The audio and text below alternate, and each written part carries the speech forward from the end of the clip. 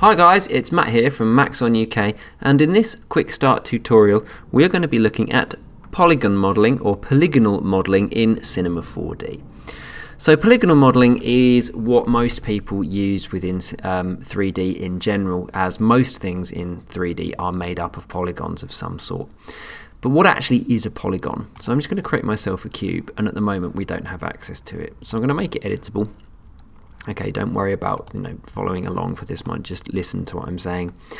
This is a polygon. So a polygon is a you know sort of computer generated shape made up of lines, points, and a face. So it has a face, as we can see there. Its edges, okay, work its way all the way around, and its points. Okay, you can see that this particular polygon has four points, four edges, and one face. It's the way you'll find most polygons in Cinema 4D. Sometimes you may end up with a triangle, okay, and sometimes you may end up with what they call an n-gon, and an n-gon is a polygon with more than four sides. Now sometimes we will have those, um, but we try and avoid them where we can just in case um, we ever want to do something different with our object like animate and n-gons don't do very well but they're okay for static objects. So polygonal modeling allows you to edit the shape of its points and polygons beyond kind of like standard choosing how big a square is. So you could grab a face and you could move that out or you can go to an edge and then you can change that shape. You can also get points in there as well and you can move those out and change their positions and this is what we call polygonal modeling.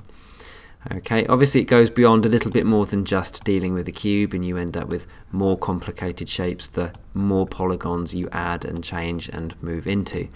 Now I'm just going to change my layout so I'm in the modeling layout because that gives me access to some more tools out here such as the extrude tool. So if I go to my polygon mode, okay, and click there, and if I click and drag my tool there, you can see now that I get more polygons. You can change the faces and you can add out and you can extrude, so on and so forth. And it's really easy to do and just sort of move things around. And that's what polygonal modeling is all about.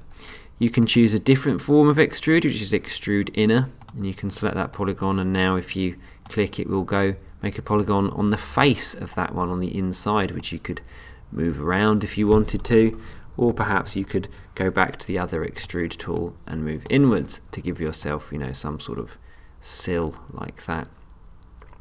You can use a knife tool as well, and knifing allows you to cut straight through like that and it gives you extra geometry so uh, which allows you to you know expand and explore even more you know what you want your shape to be depending on what you're trying to go for okay so there are a variety of different tools within Cinema 4D that allow you to edit and adapt polygons in this sort of fashion and you'll find that if you look at some complicated models that they are all made up of polygons and points and this is how it works in Cinema 4D.